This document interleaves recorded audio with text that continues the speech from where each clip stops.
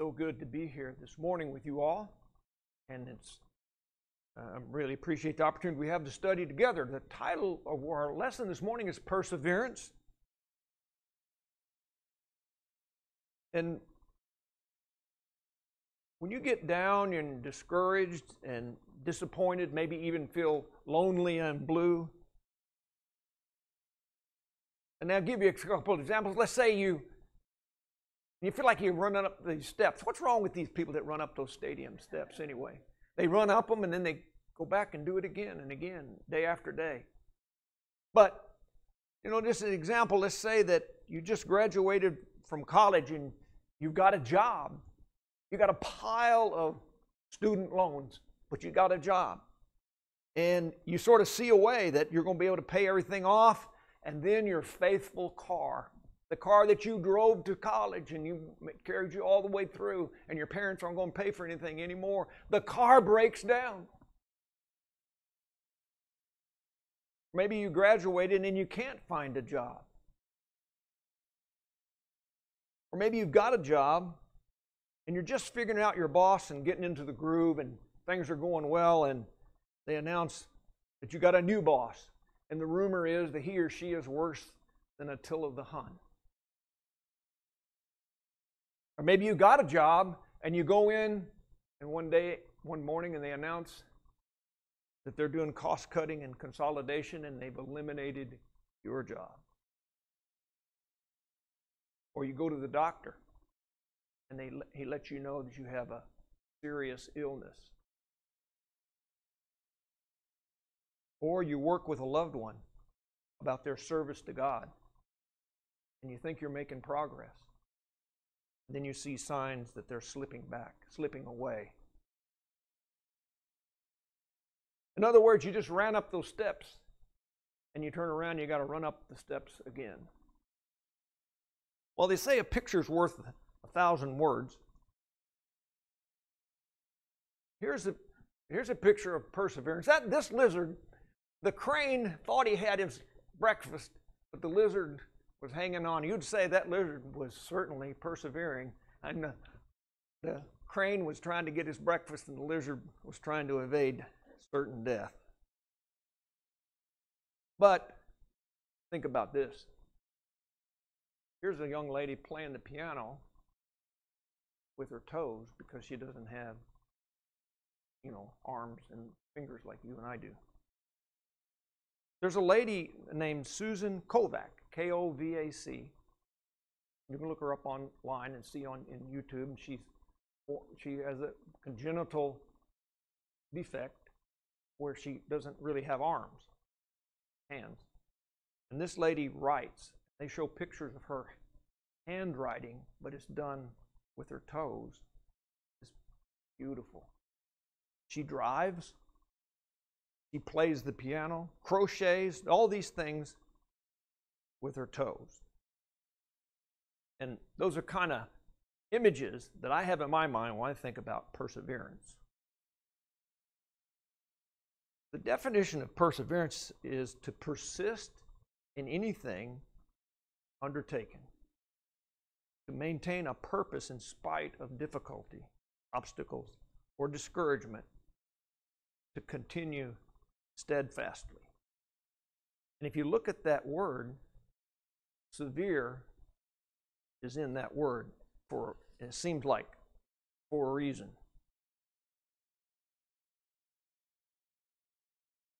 If we live long enough, we're all going to experience tough times and trials and tribulation. Ecclesiastes 12:1 we read, "Remember now the creator in the days of thy youth, before the evil days King James says, Draw nigh, the evil days come, and the years draw nigh, which you say, I'll have no pleasure in them. When we're young, we don't have that many, usually, that many evil days. But as age comes on us and life's experiences we go, go through, we find out about those things called the evil days. Life is going to try us in three ways spiritually, physically, and emotionally. That's where we are called to persevere. The first thing we look at is spiritual test in James 1. We'll look at James 1 12 and 13. James 1 12 says, Blessed is the man who remains steadfast under trial. For when he has stood the test, he will receive a crown of life which God has promised to them that love him. Let no one say when he's tempted, I'm being tempted by God, for God cannot be tempted with evil, and he himself tempts no one. Temptation indeed is a test. And every time we're tempted, it's a matter of will we resist? Will we stand fast? Will we overcome that temptation? Or do we give in? We have to pers- persevere through those kinds of temptations. Another trial that we face is physical. And in some countries today, but not in America, if people face physical tribulations because of their faith. 1 Peter 2 19 and through 21, again, we read, For this is a gracious thing. Then be mindful of God, one who endures sorrows while suffering unjustly. For what good is it if when you sin you're beaten for it and you endure? But if you do good and suffer and endure, it's a gracious thing in the sight of God. For this you've been called because Christ also suffered for you, leaving an example that you may follow in his steps. While we don't see physical tribulation for our faith today in America, we all, you know we very well could, and certainly we can know through history that Christians suffered mightily from the first century on for their faith. Probably something that we all experience from time to time is the emotional trials in life. The Apostle Paul experienced many things, and he gives us a glimpse of his thought process and even some of his emotional struggles in the letters that he wrote. Look at Philippians 1 and 19, but we'll, well, 19 through 25, but we'll, let's just skip and we'll start reading with verse 21, Philippians 1 21. Paul is talking and struggling with this idea of even leaving this life and going to be with Jesus. The, the appeal, the, the, the, what he longed for as he wrote this, it seems that he longed to leave this life and be with Jesus.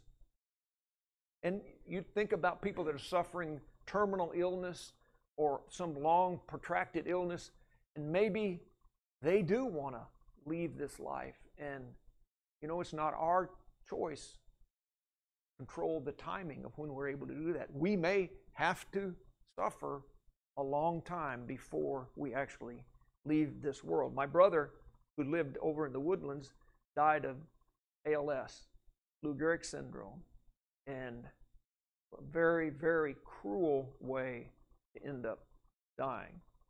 And it gets down to the end that you just wish they could die. And eventually they do, they, they succumb to the disease. But to see that firsthand is, is, is really sobering to think about this because as, as Paul said in Philippians 1.21, and we'll read this, For me to live is Christ, and to die is gain. For if I live to the flesh, that means fruitful labor for me. Yet, which shall I choose? I cannot tell. I'm pressed hard between the two. My desire is to depart and be with Christ, for that is far better. But to remain in the flesh is more necessary on your account.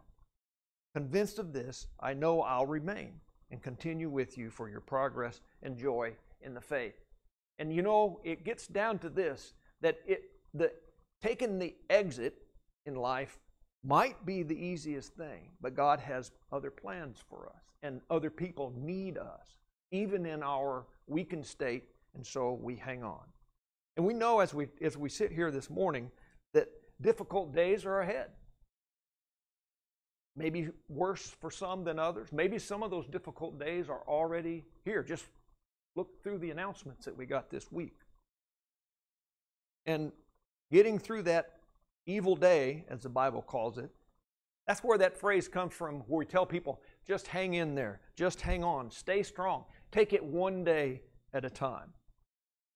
But rather than those kind of words, this morning I wanted to give us six ways that we can, six things that we can do to help persevere, help us persevere. So I've got six things here on the board. We're going to look at them, each one of them in turn, and see if we can be ready and able, better able to persevere the challenges, the temptations, the trials that we experience right now, or those we may experience in the future. The first thing we're going to look at is to prepare.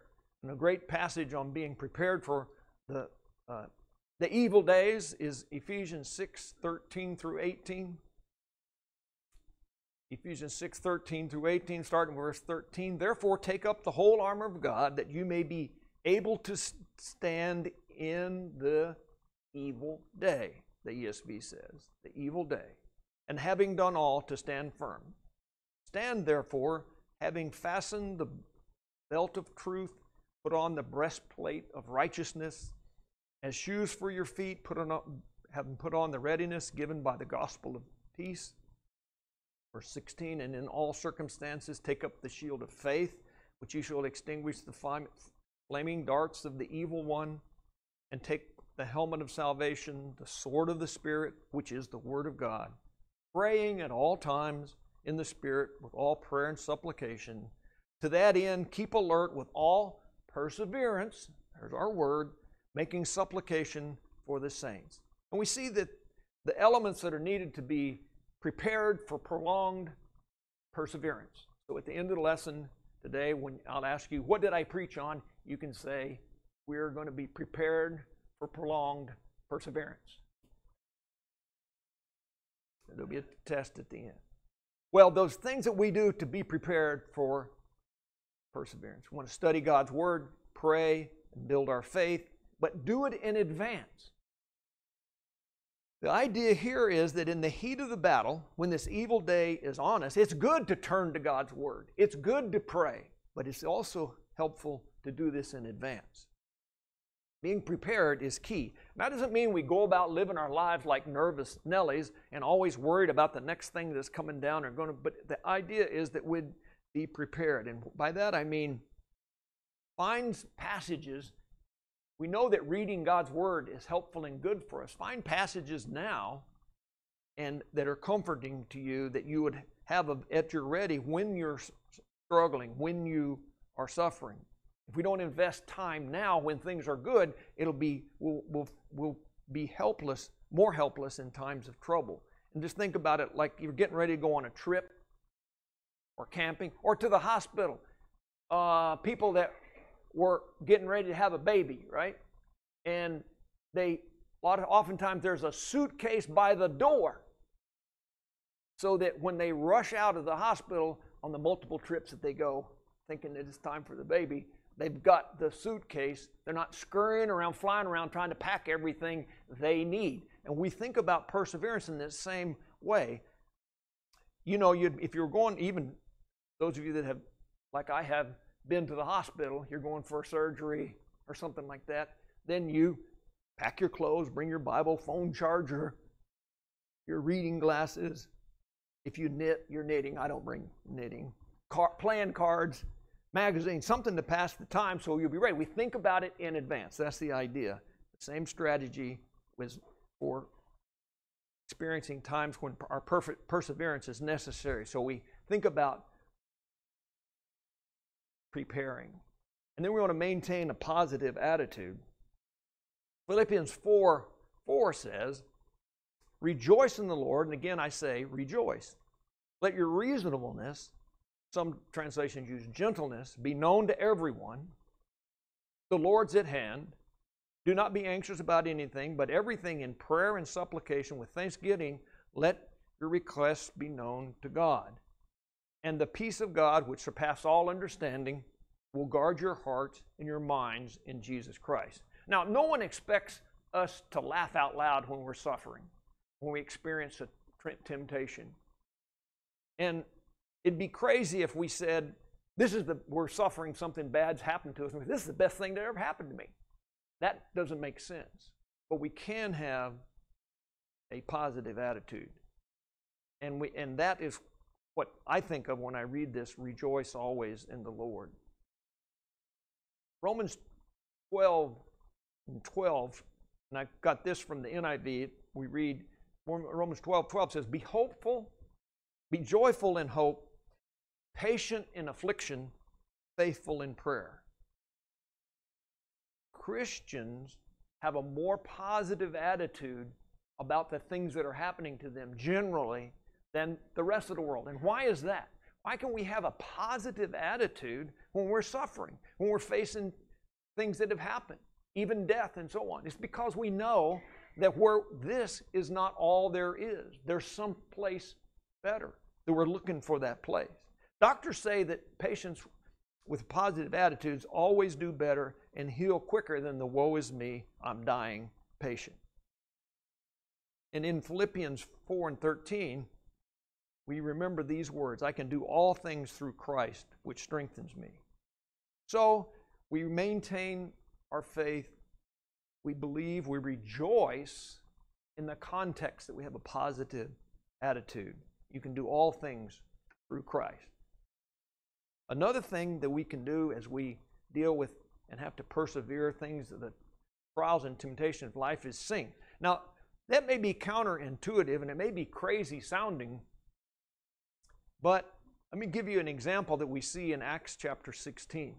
Just to kind of refresh and quickly set this up, there was a slave girl, and her masters used her. She had some evil kind of spirit, but she could foretell the future, and her masters used her and got much money from doing this. And then we pick up, and, and Paul and them, they cast that spirit out of her, and she no longer was possessed, but then she no longer could make money for her masters. And this is where we pick up in verse 9, Acts 16 19. But when her owners saw that their hope of gain was gone, they seized Paul and Silas and dragged them to the marketplace before the rulers. And they said, we read that they said they were disturbing the city and turning it upside down and advocate customs that are not lawful for Romans. In verse 22, the crowd joined in attacking them. The magistrates tore the garments off of them and gave orders to beat them with rod. And when they inflicted many blows upon them, they threw them into prison, ordering the, the jailer to keep them safe. We know all this. And they fastened, verse 24, they fastened their feet in their feet in stocks. And what was the response? And what happened? Verse 25. About midnight, Paul and Silas were praying and singing hymns to God, and the prisoners were listening to them. And then you remember there was a great earthquake, and the things opened, the doors opened, and all. And then the, the, they kept the jailer from killing himself and all these things. And in the end, he and his whole household were baptized. But in this, in the midst of unbelievable persecution, Paul and Silas were singing. It's impressive that they were singing when they were still in stock, with feet in the stocks. There's something marvelous and infectious and faith building about singing spiritual songs. Didn't you get that as we sang farther along this morning? Did you get it? Did you feel it? Did you know and understand in the Spirit what, what that song was trying to tell us? And the, the voices blended so well together. It's great to be up front because you can hear everybody really well singing. There's something about singing. I read where in early America, the slaves, when they were working in the fields, hoeing cotton, whatever they did, that oftentimes they would be singing as they were doing this backbreaking work in the blistering sun. And you've heard of people, prisoners in jail, working on the chain gang, and they sing as they broke rocks or all the crazy things they did. That. But I noticed something since we moved here to Texas. In our neighborhood, a lot of people are getting their houses roofs redone. And I don't know if you've noticed this, but I have in our neighborhood that there will be a crew of men working on the roof, and they'll have their music blasting. And they will be singing. It's blistering hot. You know that in Texas. and they're on the roof at 100 degrees or more, and they're singing. There's something about that comfort and spirit that we get by singing, and especially singing praises to God. So, and maybe you can't just sing as you walk down the road. You could if you wanted to, but you certainly can have a song. How many of you have songs in your mind and you repeat those songs? And you hear those songs. And I knew a lady back in Alabama, she was dying, um, had breast cancer, old, had breast cancer. She loved to sing. And as she was in the hospice care and all that, she would be singing. You could hear her singing praises by herself. And if you went to visit her, she'd love for you to sing with her. And that's a wonderful, wonderful thing. Singing psalms, hymns, and praises makes a difference when we're suffering. And the main thing it does, it fills our mind with positive images and message. Farther along, we'll know all about it. You know, that song, we see these people, what are they doing? They're getting along so, living so wicked year after year. You know, that kind of grates on our nerves sometimes, seeing all these people doing so well, and my car just broke down. But farther along, we'll know all about it. So singing helps keep those images in our minds. And don't be afraid to request help.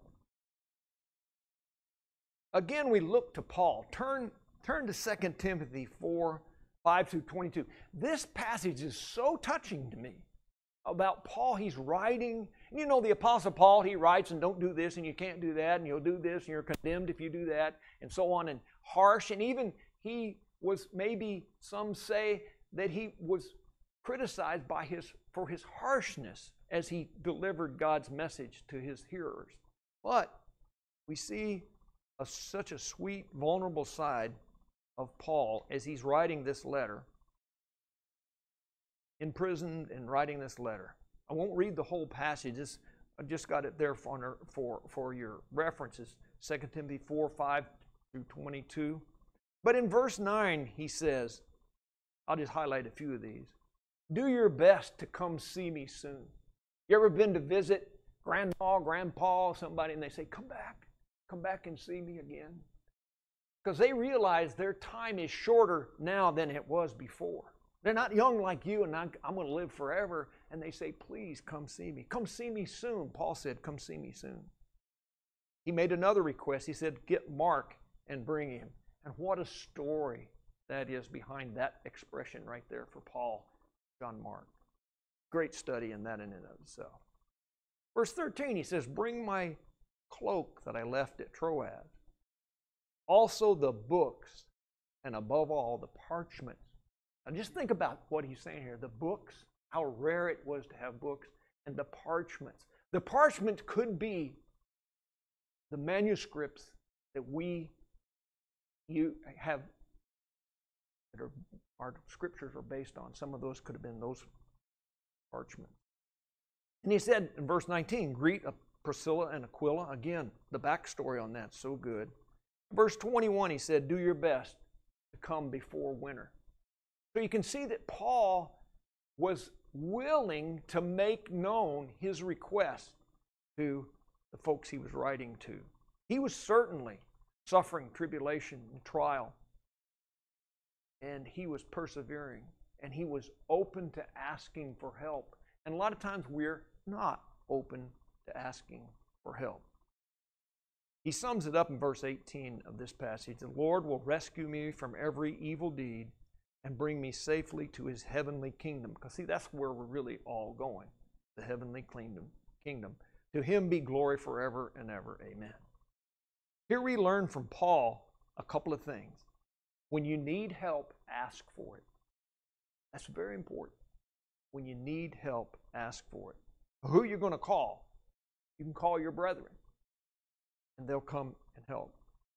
They'll come, the kind of help that they can provide is prayers for you, counsel. They can talk to you about the struggles that you have. An ear to listen. They can come and just listen to you while you tell them of the troubles that you're experiencing, your fears, and so on. They can be comfort, they can be company.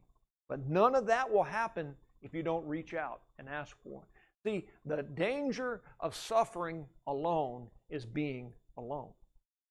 So we want to make it known so that, and, and, and know you, you, we should know that your prayers will be heard and your request will be known. And while we haven't worshiped long with you guys, I can say assuredly that if you need help, you will be helped. That's been proven time and time again already in our short time here for everybody in the congregation. Another kind of weird expression is patiently establish your heart. Well, let's we had read some of this. Let's read. Uh, let's look back over to James five and start and in looking in verse seven. Actually, we'll look at just verse eight. You also be patient. Establish your heart for the coming of the Lord. That, that idea of establishing your heart is, is translated other other other other passage other translations use the word stand firm, uh, strengthen your faith. The interesting thing he says also be patient first, establish your heart, for the coming of the Lord is at hand. And goes on to talk about don't grumble, so on, and remain. Verse 5 and 11 says, Consider those blessed who have remained steadfast. Caden read this for us early. You have heard of the steadfastness of Job, and you've seen the purpose of the Lord, for the Lord is compassionate and merciful. And so, if you have any questions about someone suffering, it really the message Paul is given here is, or James was given, is look to Job and read about Job and see what all that he suffered.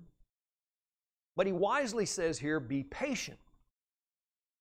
As I've grown older, I and and I never thought about this when I was young and let's say really healthy. But I've gotten older, I've learned about patience.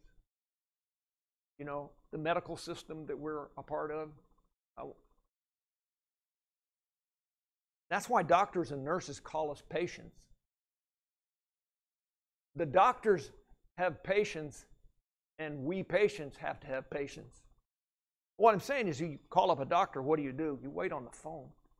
Rings and rings and rings, and they offer to call you back.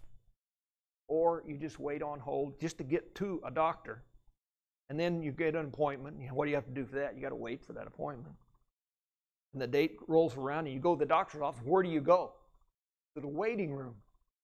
And you wait in that room a long time. Then they take you back, and where do you go there? What do you do back there? Y'all been there. You know what I'm talking about. You wait in a little room. Then the doctor comes and looks at, well, sometimes it's somebody else. I don't know, different letters in their names. PAs and CPNs and CRPs and this and that. And then they come. Then the doctor comes finally. You've been waiting. They come and they do tests or order tests. What do you do about that? You got to wait for those tests. And then they run the test. And what are you doing? You're waiting on your diagnosis, waiting for them to tell you what's wrong with you. And don't get me started on the ER. How many people been to the ER? What do you do there? Wait. See, so you learn patience. If you're a patient, you learn patience. And those, when we're facing those kind of trials and temptations, it's hard to be patient, really is. Because what? We naturally want things to get done. We want to get better. We want to resolve themselves. We want to know, but we learn patience. And the Apostle Paul, Second Corinthians 12, 8, and 9, you remember, he asked God to remove a thorn from his flesh. He, it says he pleaded with God to remove this flesh, thorn from his flesh, three times. And God's answer was, My grace is sufficient for you. Now, that's easier said than done, this idea of patience. But to pers- persevere, we have to have patience. Finally, visualize victory. Now, if you talk to any great athlete or great performer, they'll tell you that they visualize whatever it is that they're doing. They visualize it happening. The golfer, he hits that thing and he visualizes the ball rolling up and going into the hole with the flagpole in it. The basketball player that takes a three point shot, he visualizes that ball going into the net. The quarterback visualize, they visualize what their success and what they're doing.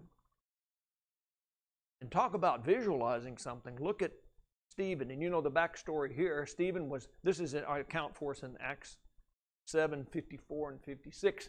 Stephen had been preaching, And the crowd turned on him. So much so they, they were gnashing their teeth at him. And I'm sure that Danny has preached to some rough crowds in his time, but probably none of them have turned to you and wanted to bite you, not publicly. But this is what they, and they were going to kill Stephen. Acts 7:54. Now, when they'd heard these things, they were enraged, and they ground their teeth at him. Some translations said they gnashed their teeth.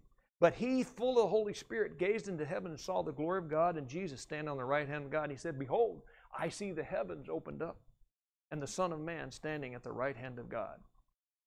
And that, that was the last thing they wanted to hear. And they did stone Stephen. But as he was about to be stoned, he looked and could see Jesus standing on the right hand of God. He visualized the ultimate victory. And when really that that is when we think it's all coming to an end, and it may and it will one day, then as believers we'll visualize victory, and that is we'll think about heaven, we'll think about our Savior, like Stephen did, we'll think about what it'll be like to be in the presence of God with all those that have gone on before us.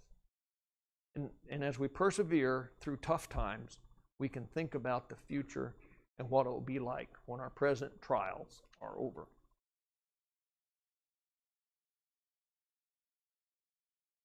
Probably you notice that these six things are activities. They're things you do. Common to all of this is actually doing something. Don't just sit and worry, be active.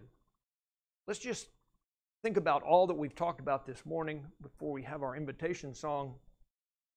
What do we do when we work on our perseverance? Number one, we prepare.